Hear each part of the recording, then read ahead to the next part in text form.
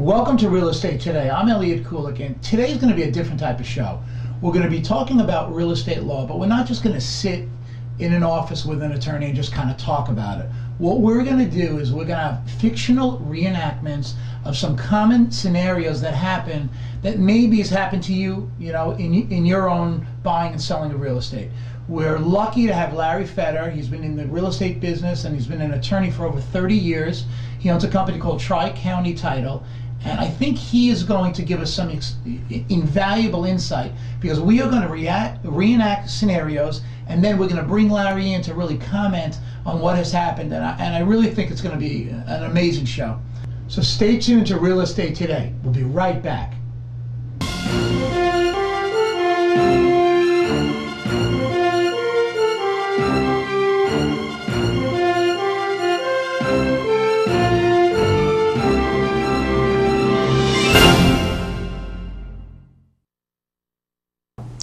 This reenactment, we'll see what tax consequences and problems a foreign investor will face when they try to sell property in the U.S.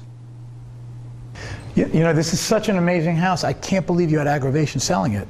Uh, yes, I uh, bought this house about five years ago. Right. And um, I'm trying to sell it now. I went to the closing table and I was told that they had to hold 10% of my purchase, of my selling price. And I know you made, you know, on paper you were going to make a really good profit, so it must have been really upsetting. What, they, you told me they called you like a foreign investor? Yes, that because I did not obtain a tax ID number. I'm from Colombia, Right. Not from here. I really bought this as an investment, and um, I didn't know that I had to get a tax ID number or a social security number uh, before I sold it. And uh, so now they're telling me that I have to that they have to hold 10% of my of the purchase price. So it's really not the same Yes, I know you told me that you walked away from the deal, so now we're in a different market and trying to sell the house and getting the same profit. I, I know you're carrying the house. Is, you know, it's a bad situation. That's So- correct. So, I mean, obviously, you probably, uh, at a minimum, should have at least consulted an attorney had you known this issue. If the real estate broker had told me that I should have seen an attorney first. Right, right. Yes. Okay. All right. Well, let's uh, we'll see what Larry Feder has to say, and uh, you know, we'll talk to him and see if we can resolve this. Thank you. Okay, great. Larry, in Angela's situation, she obviously didn't realize that there were ramifications, you know, given the fact that she was a foreign investor and she's from Colombia, she mm-hmm. doesn't have a social security number, and you know, even though she made a nice or potentially made a nice profit on on that investment property she purchased, it really didn't go through for the reasons I'd like you to explain to everyone at home. Okay, let me give you a little bit of background so you can understand what, why the problem comes up.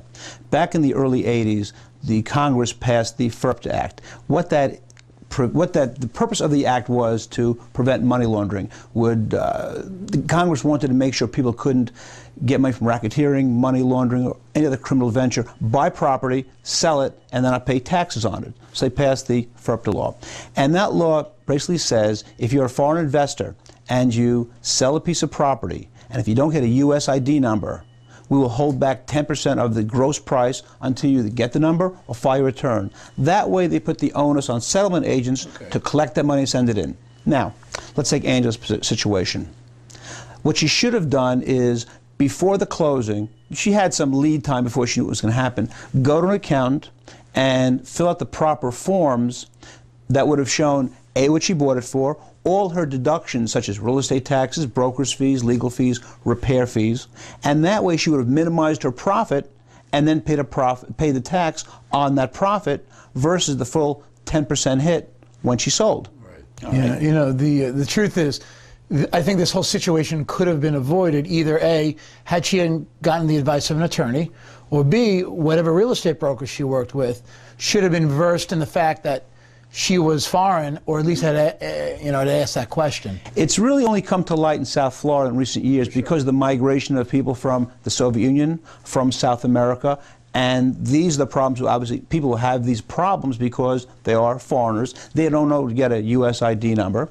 Um, another possible way to resolve it is by using what's called a 1031 exchange, which means if she had found another piece of property, she could have used the proceeds from that, rolled it into that, and deferred all the taxes altogether. Right. So really, it's a question of knowing in advance, um, getting the ta- she could have gotten a tax ID number and resolved the problem, or done the return, gone to the closing. She would have got a certificate from the U.S. government saying, don't hold back money or send in this amount of money, and it might have resolved the problem. Now, she gets to the closing table.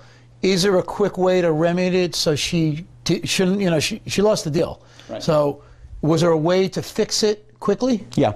What I would have done is this I would have explained to her that by law, if she hadn't done these things, filed the return, gotten the ID number, I would have held the 10% in escrow for a while. She would have had time then to go to the Uncle Sam to file the proper return and then gotten the tax return back, and I would have been instructed to withhold X amount of dollars, and she could have gotten the difference back to her. And that way it wouldn't have been a problem, but um, she could not escape the problem altogether. Uh, hopefully, that situation won't happen again. And uh, let's see what happens in the next reenactment. And, you know, I appreciate all your advice. Great, my pleasure. Stay with us. We'll be right back.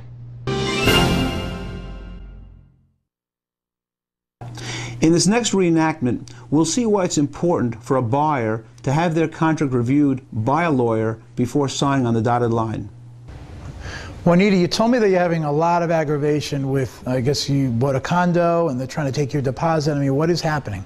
Yes, um, here's my situation. I uh, signed a contract for a new condo. Um, I put 10% down, and I was recently denied uh, my financing, my mortgage application. Uh, so now the developer is telling me that they will keep uh, my deposit. Uh, further, I have not been able to sell the house that I currently own. Right. Um, so I'm, I'm really, I don't know what to do. Well, this is unfortunately in the kind of world we're dealing with right now. This is a very common situation, not a super common, but it's definitely happening. And do you remember if you had a mortgage contingency in that contract that you, you know, with the developer? I don't know. Yeah. I, I'm not So, because you aware of know, developer contracts are not boilerplate contracts. It's not like when we write a resale, we use standard contracts. It's called a mm-hmm. FAR bar or Florida bar contract. In your case, this is a developer written contract, and without having really looked at it, I don't know how I can advise you. Mm-hmm. This is a perfect example why I always tell someone who's buying new construction, especially to have an attorney, you know, look at it. So, you mm-hmm. know, we probably should talk to Larry Feder and get a, a good idea of, you know, what he what he thinks the best course of action is. Okay, Okay, great. thank you. You know, in Juanita's situation, Larry, I, I can't tell you how many times I see this when a buyer hasn't sold their house yet, has gone to contract, and probably she went to contract many months before you know the place was ready because I think she bought a condo and it was being built. Signs a contract which she believes is a boilerplate contract, and as we know, being in the business, um, a lot of builders craft their contracts to be a little more, you know, a little one-sided toward the builder's side. And I always advise my clients to have an attorney review a builder's contract before um, signing it. So tell me, you know, how you would have handled this situation or what advice you would have given her. Well, you're right. Typically, the developer's contracts are very one-sided, skewed in favor of the developer, as opposed to the contract forms you use, the Florida bar form contracts, which really are more fair and equitable. So, obviously, the first bit of advice is, although you're fully in love with this piece of real estate, and everyone tells you you might need a lawyer or not need a lawyer, it, it's, I can't tell you how important it is to have someone look to make sure you are protected. In Juanita's situation, I, if I remember correctly, she didn't have, she signed the contract, there was no contingency for getting her mortgage approval, there was no contingency for the sale of her house. And her problem was that she couldn't get her mortgage because she couldn't sell the house, and the seller treated it like a cash deal, and at that point she's kind of out of luck, and she's subject to losing that deposit. Yeah, the uh, you know I see this situation too many times, and you know the market has changed a little bit, and you know it's starting to get better. You know, right now it's you know in the middle of February, and Right. and, I, and I'm starting to see a lot more activity. But when a buyer gets in this kind of situation, is there anything they can do? I mean, have you negotiated things with the developer to see if there's some uh, you know? Uh, Things that the buyer potentially can do to try and not lose their deposit? Well, you made a very good point. Market conditions. When things were booming a couple of years ago, developers wouldn't let you change a contract, wouldn't talk to you. You were just, once you signed, you meant nothing to them. Now, developers are dying to move their units. So even if you sign a contract that may give you some problems and headaches, um, if you go back to them and tell them, listen, I want to buy the house, but I need an extension of time, or let me uh, go for another lender for a mortgage, they'll be more lenient because they want to sell that unit. In Dade County alone, there's 77,000 brand new condominium units, which may, which may not be sold, but may not close. There's a glut on the market.